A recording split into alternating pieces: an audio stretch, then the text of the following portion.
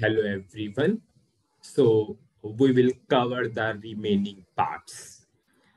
In this particular video, we will cover what is data class.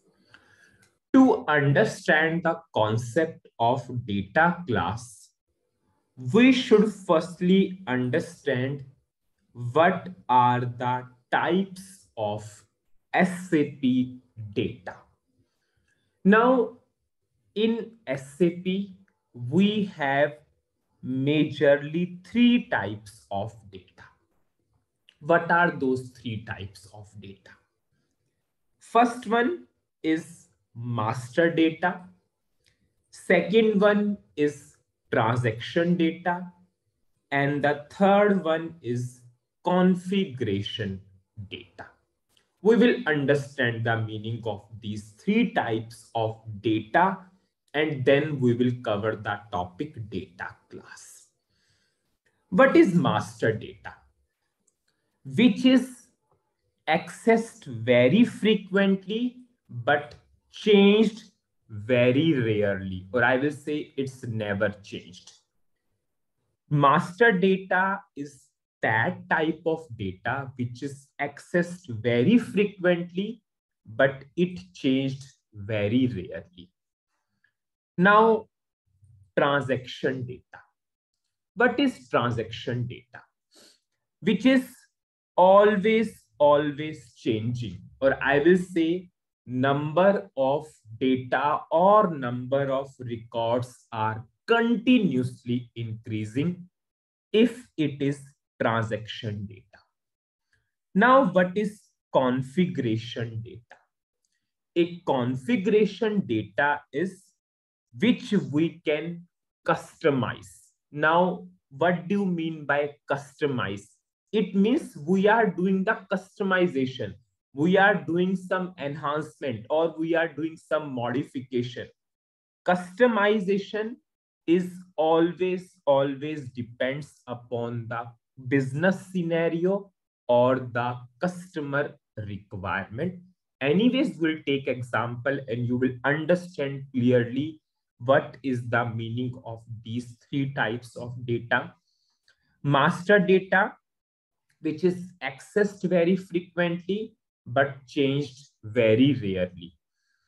Transaction data, which is always, always changing. Number of records are always increasing configuration data is that type of data which you are customizing.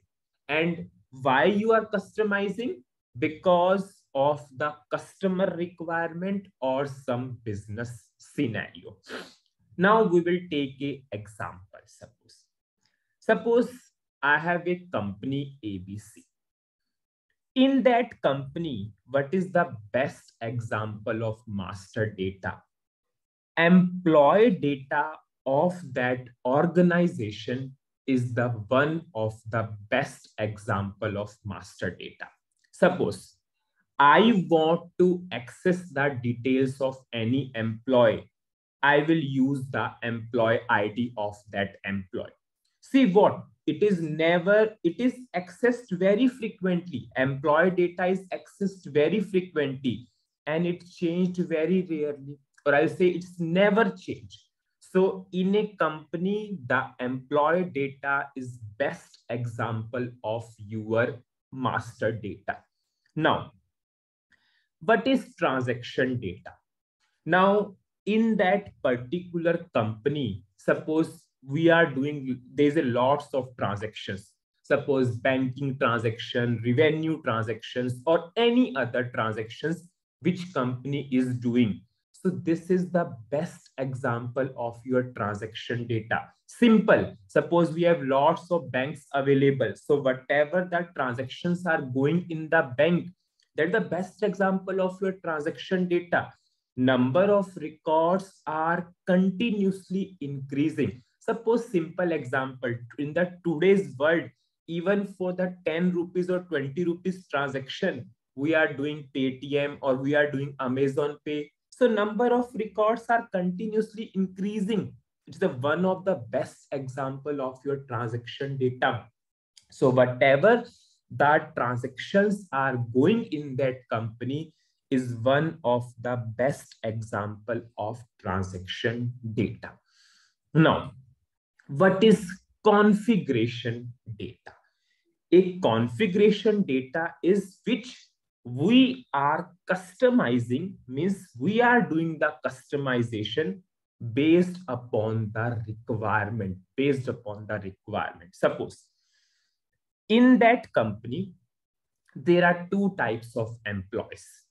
One employee grade is senior consultant and other are i'll say suppose other grades are there those are not senior consultant.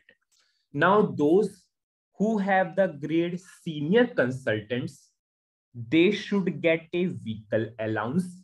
But those who do not have the grade senior consultant, vehicle allowance is not applicable.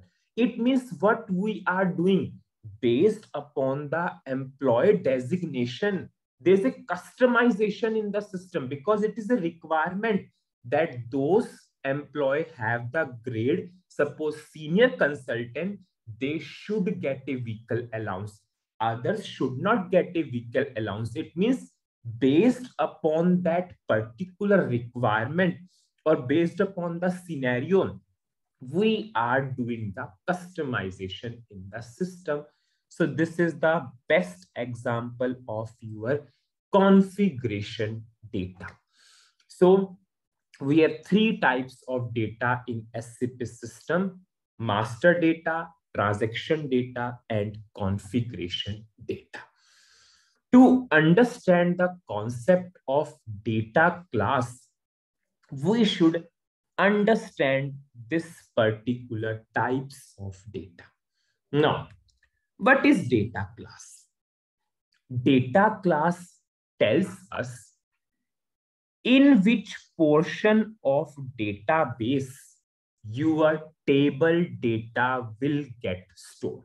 Suppose I'm saying in this particular table, we maintained this data in the table.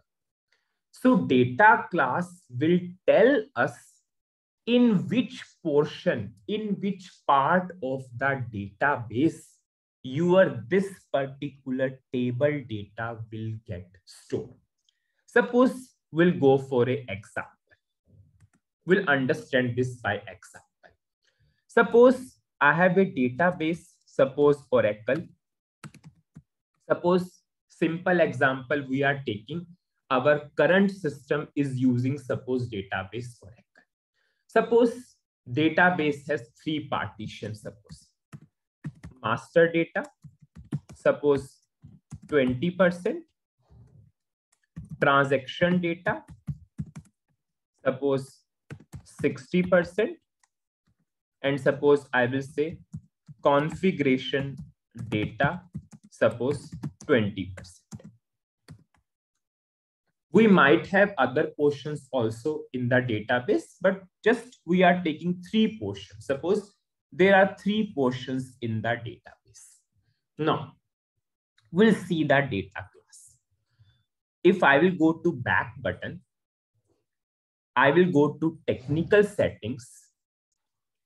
I will go to F4 help of the data class. And you can see for this particular table, I choose the data class APPL0. It means this particular table data will store into this particular portion of the database.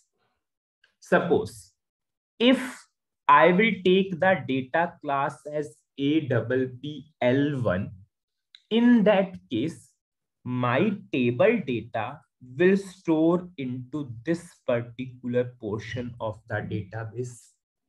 If I will take the data class APPL2, so my table data will store into this portion of the database.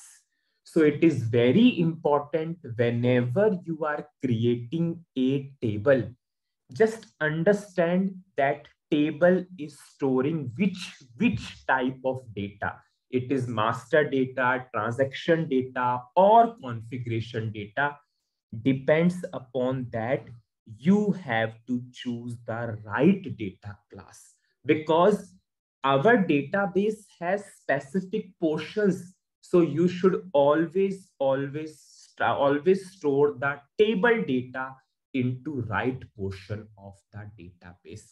Suppose in this case, if I considered that my table is storing the transaction data, so I should choose the data class APPL1. So always, always think that your table is storing which type of data depends upon that choose the right data class because in that case your data will store into that particular portion of the database. So what we learned in this video, what are the various types of data available in SAP and depends upon the type of data available in that table, you have to pick the right data class because data class will determine that your table data will store into which portion of the database. So that's it in this particular video. Thank you.